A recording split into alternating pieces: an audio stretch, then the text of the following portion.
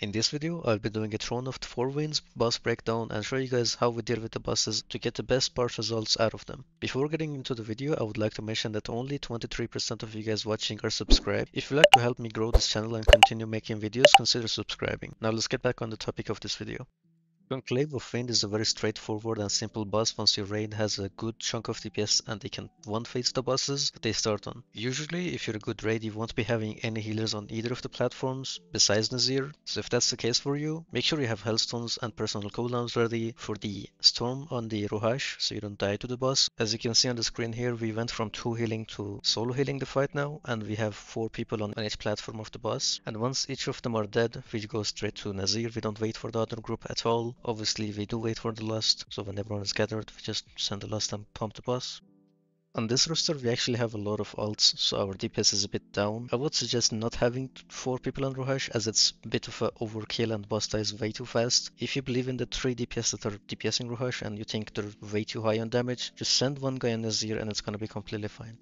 Also, if you have no healers on Rohash, I suggest using Feint on a Rogue, on the Storm ability, and if you're a Paladin, make sure that you use Shield Wall and hand sac some other player, and get the use of your Lay on Hand because it's really helpful in case someone might die because the Storm wasn't pushed fast enough. I believe 3 ticks of the Storm can easily kill all of you already, so you need to make sure that it dies within the first tick or the second one. Something that a lot of tanks are used to already is that they keep Nezir on the far end of the room and every time you have to jump over to kill it, it's way too far and you have to usually walk around 10 seconds before you reach the boss. So just let your tank know that once the boss is 20% on Rohash and Anshal, just tell him to move to the Al'Akir pillar so you don't have to walk that far and you have no downtime on the DPS.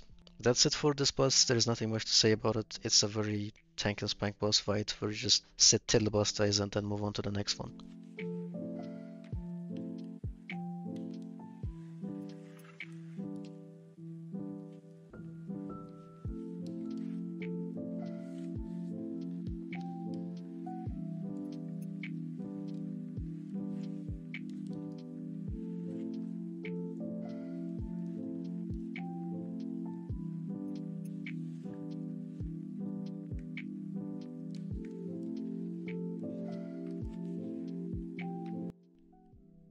Al'Akir is two different words in 25 and 10 man. In 25 man, the boss is really hard in phase 1 and then it gets progressively much easier as it goes, but in 10 man it's different. So the ideal way to do this boss is that you want to skip out the first wind burst that happens in 25 or 10 man. This is very rough in 25 man because the boss's health is much higher, but in 10 man it's a breeze, you can easily do it with just 2 minute cooldowns and no problem. If you do struggle to push the wind burst before it happens, then just use lust, it's not the biggest deal in the world. And on rogue, if you would like to actually press killing spree on this boss, you need to ask your raid leader to put you behind the boss exactly right under it so you can killing spree and then just get ported back where you were standing. Keep in mind during phase 2 the tornadoes are very random and they might be behind the boss already and if you do killing spree then you will get caught up in them and die without anyone being able to heal you or grip you out of it. So the way to parse on this boss is to control these stormlings that spawn. Each gives 10% DPS increase to the boss and you want to kill these based on a timer where you gain the buff as you go into the phase 3 intermission without losing it. Meaning once phase 3 intermission happens, there should be a stormling already at 10% or lower HP which is dotted and while your debuff is running out, this Stormling dies and refreshes it as you get out of the intermission. Therefore, you can have a full uptime on the buff. Usually, some people use Guardian and Potion on this. I don't think if you should be delaying your cooldowns this long for this, because it might go wrong, you never know what happens, and then you didn't even cooldown on the 30% or beyond. So do with this information what you will, because I can't really suggest what you should do. It is very random if the Stormling dies or not, so if it doesn't die, then you just ruined your parse because you never cooldowned, and so on.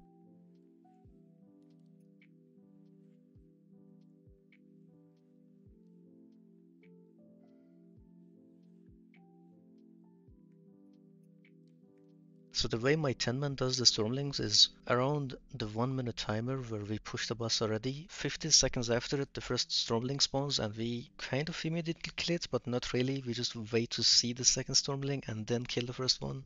But any Stormling after the second one just dies immediately. So we don't wait for them anymore. we just make sure that the second one dies very late into the debuff, so we don't just lose them randomly if the third and the fourth one are too slow to spawn. Make sure that you ask everyone to send their pets back in front of the boss because if you don't do this then the Stormling is going to be very far away and delay your killing time and you will risk losing the debuff.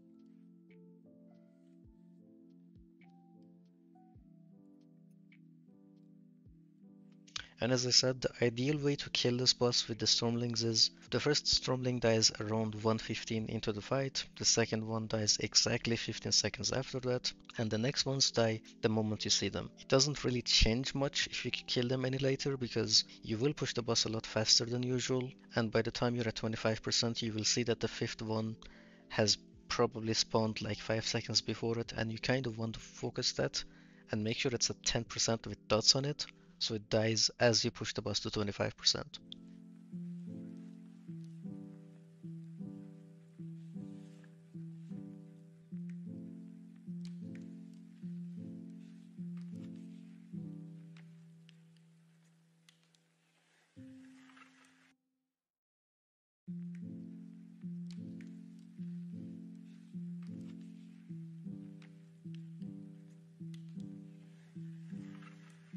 There might be a way to parse on Rogue very hard on this boss, but I'm not really sure about. Rogues could actually glyph feint and have a beacon from a paladin and just send full Blade Flurry damage onto the Stormlings, while everyone else is just blasting the boss, but I haven't done that yet before myself. You might die, you might not, I'm not really sure. But if you want to try this, that's I'm 100% certain that you can't die if a paladin is actually pumping heals into you and maybe a priest heals you sometimes but it is very healing intensive. At, at some point, you might have to be cloaking the rain debuff out, and using Feint all the time is essential for this method. But anyways, Al'Akir and Conclave of Wind are kind of similar bosses, you just stand still and kill them. There's not a lot of movement. I'm pretty sure you guys already know how phase 3 works, I'm not gonna give you a headache for that one. But do let me know if you tried any of my methods and if they've worked out for you, or if you got any good parses out of it, down in the comments below.